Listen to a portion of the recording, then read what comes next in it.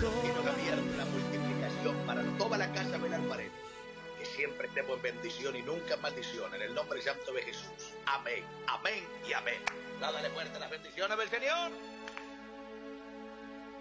Aleluya. Vamos con algunos anuncios. Eh, por favor, levante la mano los que nos escuchan en Radio FM Sion 101.3. Quisiera saber cuánto nos escuchan. Muy bien, escúchenos todos los días a las 2 de la tarde. Estamos en la Radio FM Sion. También ahora tenemos algunos programas más.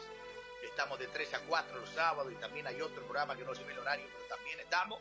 ¿Cuánto escucha la FM 99.3? Levante la mano los que escuchan la FM 99.3. Óigala las 24 horas del día la radio. ¿Cuánto me siguen en Instagram? Por favor, quisiera saber. Levante la mano los que me siguen en Instagram. Muy bien, Pastor Milán Solimán, y sígame ahí. En Facebook, ¿cuánto me siguen en Facebook? Levante la mano. Y los que no levantan la mano, que no tienen redes sociales, no, no. ¿Cómo es el asunto? Usted sigue al pastor eh, no sé, Sarlanga. Usted tiene que seguir a su pastor. ¿Cuánto amén? Para que estemos en contacto y por ahí me puede escribir siempre. Amén. Bueno, prepárese primera semana de vacaciones de invierno, una campaña poderosa, no se la pierda. Vamos a cruzar el Mar Rojo juntos. Abra su Biblia en Hebreos, Hebreo, por favor, capítulo 10, versículo 26. Hebreos 10, 26. Ya estoy pronto a volver.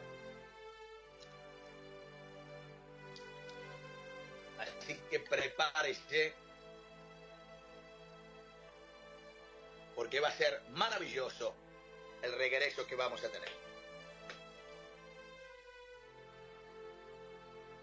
Hebreos 10, 26. Leemos en el nombre del Padre, el Hijo y el Espíritu Santo.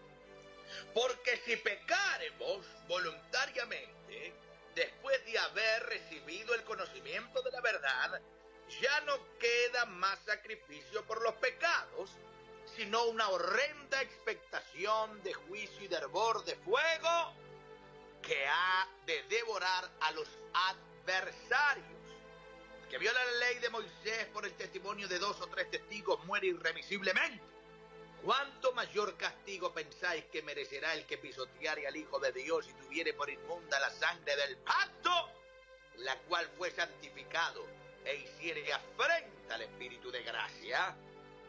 Pues conocemos al que dijo, mía es la venganza. Yo daré el pago, dice el Señor. Y otra vez el Señor juzgará a su pueblo.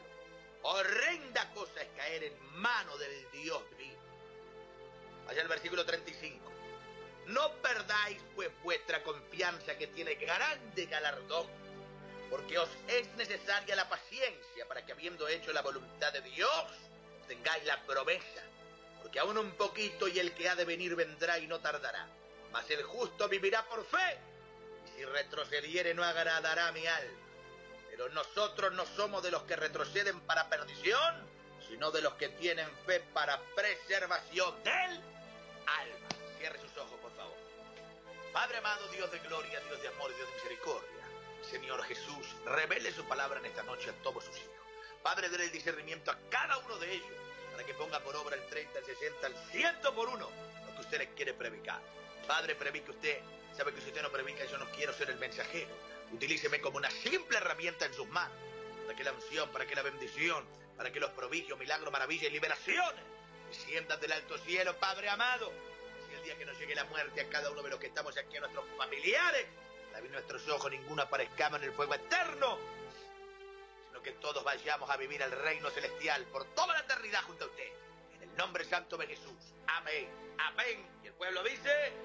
La iglesia dice. Dale fuerte aplauso solamente Dios y de fuerte. Aleluya. Mire qué palabra poderosa, hijo. Quiero que se escucha bien, levante los dedos, se escucha bien, por favor. Levante, se escucha bien los dos, gloria a Dios. Porque si pecaremos voluntariamente, después de haber recibido el conocimiento de la verdad, quiere decir que si nosotros, habiendo aceptado a Cristo como el Hijo de Dios, nuestro suficiente Salvador, ¿cuántos aceptaron a Cristo como el Hijo de Dios y Salvador? Levante la mano, por favor. Muy bien, si nosotros pecaremos después de haber conocido la sangre de Cristo y aceptado al Señor, con el conocimiento de la verdad, ya no queda más sacrificio por los pecados. Dijo, quiere decir que ya no hay perdón. Usted no puede decir, bueno, Mire, mire la diferencia que le voy a dar. El del Gaucho Gil, ¿sí? el seguidor del Gaucho eran seguidor del Gil antes? Levante la mano. Nadie. Bueno, muy bien. Siempre hay uno o dos. Muy bien. Hoy, los que siguen al, al Gil, si no aceptaron nunca a Cristo, pueden venir a Jesús, al Evangelio, y tener perdón por su idolatría, tener perdón por su pecado. Los que siguen hasta la muerte, si nosotros los evangelizamos y se vuelven hermanos nuestros y aceptan a Cristo, Dios perdona sus pecados cuando estaban con San la muerte. Y así le puedo nombrar, puede ser budista, puede ser Hare Krishna, puede ser musulmán, puede ser ateo, puede ser católico, porque los católicos también están perdidos por el diablo. Cuando dicen amén en la idolatría. Entonces ellos todavía no aceptaron la verdad que es el Evangelio. Ahora la diferencia entre el mundano o el que sigue otro Dios pagano con el Dios verdadero, y usted y yo, es que nosotros ya aceptamos al único Dios y mediador que hay entre ese cielo y esta tierra. Entonces, si nosotros, que somos evangélicos y seguidores de Cristo, queremos y decimos, no, me, no quiero más a Cristo, quiero ir al gaucho Gil, quiero ir a la muerte, quiero ir a la iglesia católica, usted o yo morimos de manera irremesible. No hay más salvación. Y si nosotros siendo evangélicos seguimos pecando, le dan al Buchelli, como algunos cristianoides, que no son hermanos, no son hermanos, son hermanoides, que todavía no se convirtieron, y usted le sigue dando al tinto, o es un hermano como la mona, el hermano de la Mona Jiménez, si usted sigue con la droga, si usted sigue con el adulterio, si usted sigue con la pavada y es evangélico, ya no tiene perdón para esos pecados. Los que conocemos a Cristo y somos evangélicos, tenemos que vivir para Él, apartarnos del pecado, para que el día que nos llegue la muerte, la vida de nuestros ojos, todos aparezcamos en el reino celestial.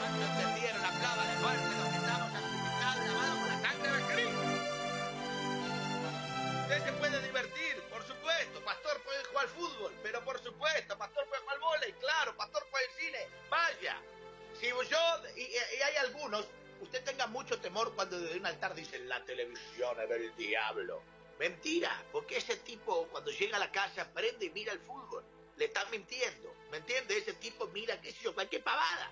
Pero se está queriendo hacer el santo y, y, decir que la gente es mala porque mira televisión. Bueno, Satanás, me ve con pavada, ¿verdad o no? Eh? Esos son los peores, los peores, los que se hacen los santos son los más pecadores porque tienen tanta mugre por dentro, ¿eh? ¿Eh? ¿Verdad o no? ¿Eh? Pues lo mismo cuando vemos estos que vienen, lo, lo, lo, los curas que vienen con toda la sotana, un bonete, ves si están de cumpleaños, muchachos, ¿eh? y vos lo ves que entran con esas sotanas, esas túnicas, y decís, wow, pero ¿quién entró? El Cenedrín. Sabemos que todo eso es la mayoría, no todo, pero la mayoría, son la red de pedofilia más grande de la historia de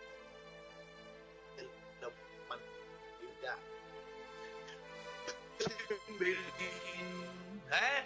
Pues sí que santo, che. Son terribles hijos del diablo. Usted no tiene que pecar. Usted no tiene que drogarse, no tiene que fumar, no tiene que tomar, no tiene que matar, no tiene que adulterar, no tiene que fornicar, no tiene que ir a la discoteca, no tiene que ir a la brujería. Dígale no al pecado, dígale sí a Dios y verán cómo las bendiciones de Dios lo bendecirán en la tierra como en el cielo. ¿Cuánto le aplaude fuerte?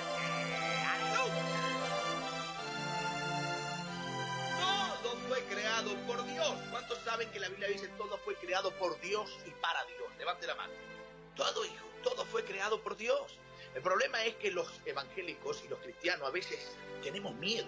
No me voy a meter en la tele porque me dijeron que es del diablo. ¡Fuera, diablo! Yo voy a sacarle a la cuando voy a la tele de Estados Unidos eh, los seguidores de Satanás a la televisión. ¿Me entiendes? Salgo en la tele y digo, ¡Cristo vive! y oro por la gente, y oro por los clubes, y oro por las multitudes, y la gente escucha la palabra. ¿Cuántos dicen amén? Jesús dijo, ¿quién alumbrando pondría su luz debajo del almud, que sería debajo de la cama? Si usted pone el velador abajo de la cama, ¿va a ver algo? No ve nada la noche. La luz se pone arriba para que ilumine y demos luz a los que estaban ciegos. ¿Cuántos estaban ciegos y ahora ve? Levante una mano, la otra, plábale fuerte. Los que éramos ciegos y ahora vemos, ¿eh? Como esa alabanza que dice, una cosa yo sé, tiene sangreo. Vamos a la palma. Que yo era ciego, ciego, ciego y ahora veo. Una cosa yo sé, tiene sangreo. Que yo era ciego, ciego, ciego y ahora veo. El peor de los ciegos es todo aquel que teniendo la vista no pueda ver. El peor de los ciegos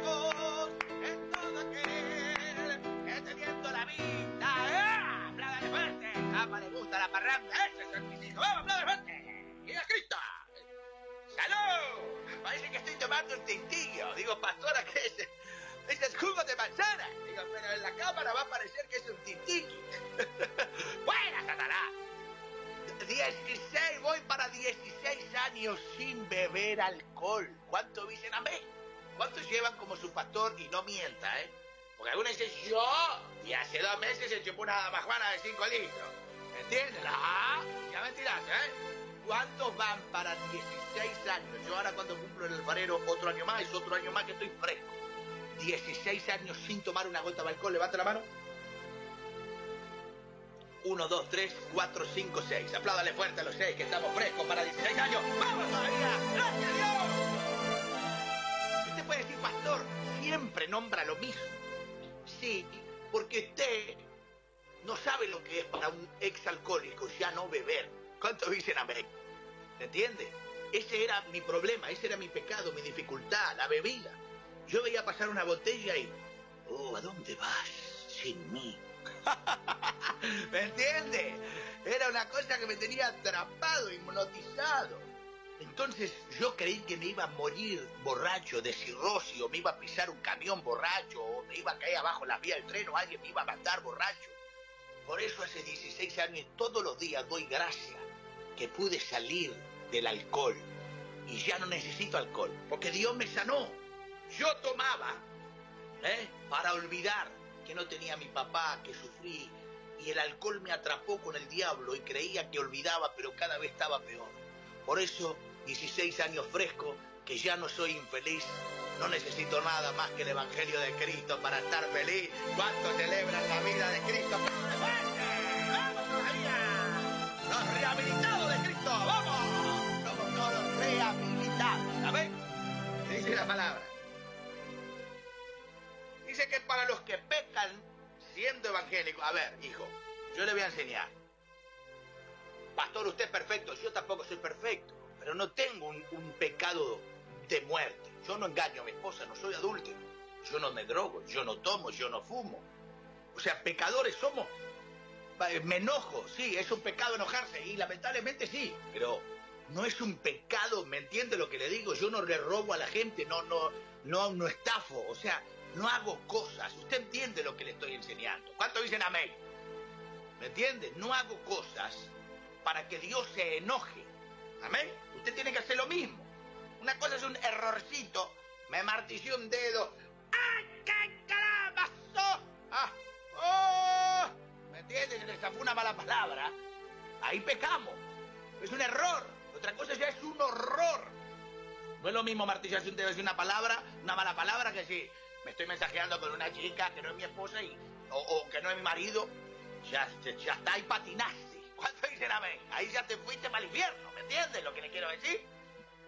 Entonces dice, sino una horrenda expectación de juicio y de hervor, mire lo que le espera a los que vayan, de fuego que ha de devorar a los adversarios. Hijo, cuando pecamos y somos cristianos, y pecamos deliberadamente, porque dice, acá dijo, pecaremos voluntariamente. Quiere decir que yo peco, soy cristiano, pero peco igual, no me importa. Dice que Dios te está tomando como un adversario, no como un cristiano. Dile a tu hermano, tú eres cristiano, no eres un adversario de Dios. Dile, dile, dígale, yo lo estoy viendo, dígale, porque me está mirando a mí, hágalo, claro, es. ¿Se acuerda que yo lo estoy viendo? No es que estoy a la pantalla de la pantalla, no me ve. Yo lo veo a todos, a todos, de primero al último. Y dice, el que viola la ley de Moisés por el testimonio de dos o tres testigos muere irremisiblemente. En el Antiguo Testamento, los que iban en contra de la ley morían. ¿Cuánto mayor castigo pensáis que merecerá el que pisoteare al Hijo de Dios, que es Jesús, y tuviere por inmunda la sangre del pacto en el cual fue santificado e hiciere frente al Espíritu de gracia. Quiero decir, ¿cuánto más castigo va a haber para aquel que tomare la sangre que Jesús derramó en la cruz? Cuando tú pecas deliberadamente, siendo cristiano, no te está importando lo que Dios hizo en la cruz por ti. ¿Cuántos dicen amén? A ver, ¿a cuántos le gustaba el pecado? Levante la mano. Bien, que no levanta la mano, sí, la mano, los pies, levantamos los dos pies, las dos manos. A todos. Hoy, hoy, ¿sabe por qué ya no pecamos? Porque usted me dice, pastor, ¿no le gustaría tomarse un whisky chin? A mí me gustaba el whisky. Digo, capaz que alguna vez, pero no lo hago. No es que yo diga, soy santo, no me gusta, no me gusta, no me den whisky, no. No lo hago porque a Dios no le agrada. ¿Cuánto dicen gloria a Dios? Entonces, desde que yo empecé a no tocar lo que a Dios no le agrada, mi vida cambió. ¿De cuántos de ustedes dejaron todo por amor a Cristo? Tomaron su cruz y lo siguieron. Apláudale fuerte los que amamos la sangre de Cristo. ¡Aleluya! Amamos la sangre de Cristo y por eso no pecamos. Mira tu hermano, más vale que no, han, no andes en pecado. Dígale, te va a agarrar Dios, te va a meter un cintazo en el lomo. Te vas, vas a llorar. Entonces dicen amén. Y dice, pues conocemos al que dijo, mía es la venganza, yo daré el pago, dice el Señor, y otra vez el Señor juzgará a su pueblo. Horrenda cosa es caer en mano del Dios vivo. ¿Cómo está nuestro Dios? Vivo. No hagas enojar a Dios. Dile a tu hermano, no hagas enojar a Dios.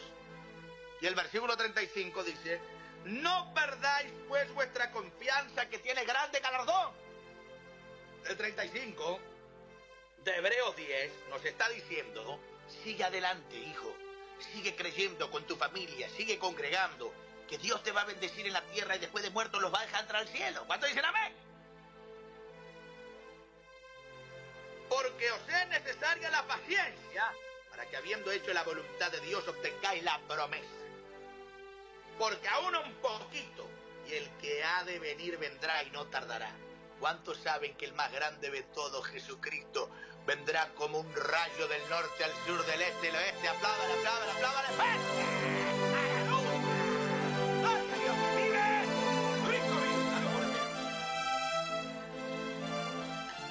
Cristo vive, amén.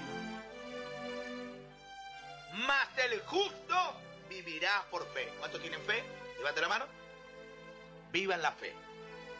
Y si retrocediere, no agradará mi alma. Hay algunos que dicen, yo no, no quiero congregar más. Voy a esperar que el pastor vuelva para congregar. ¡Fuera, Satanás! ¿Usted cree que eso soy yo? Dios está en la iglesia y lo está esperando. ¿Cuántos dicen amén? Aunque yo voy a ir, usted tiene que ir a verlo a él. El diablo, ahí fuera, Satanás. Dice, y la palabra dice, pero nosotros no somos de los que retroceden para perdición, sino de los que tienen fe para preservación del alma. Qué lindo es tener fe. ¿Cuánto dicen amén? Hasta Palito Ortega tiene fe. ¿No va a tener fe usted? ¿Cuánto dice gloria a Dios? ¿Eh? Yo tengo fe, hijo, que todo va a salir bien. Yo tengo fe que Cristo viene pronto. Yo tengo fe que pronto voy a volver a mi casa. Yo tengo fe de que Jesús es lo más grande que hay. ¿Cuántos tienen fe de que Cristo es lo más grande que hay? Levante una mano a otra, denle un fuerte aplauso y ponte de pie, hijo, arriba, ponte de pie. Vamos a adorar al Señor. En el nombre de Jesús de Nazaret. Y Alá. Quiero que cierres tus ojos, hijo. Cierra tus ojos y pide un milagro al Señor. Cierra tus ojos y pide un milagro grande y poderoso. ¿Qué estás anhelando, hijo? Ten fe, hija. Dará todo. No importa lo que digan los padres, lo que diga el diablo.